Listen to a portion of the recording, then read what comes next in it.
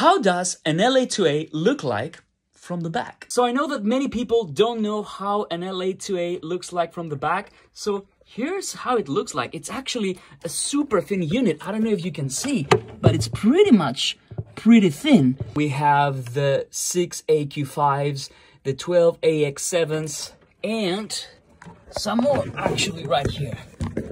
There you go. Pretty interesting, isn't it? If you ask me, I would really like to see a new version with the back improved a little bit so that these tubes don't stick out. But hey, it's the LA2A. We all love it. Can't live without it.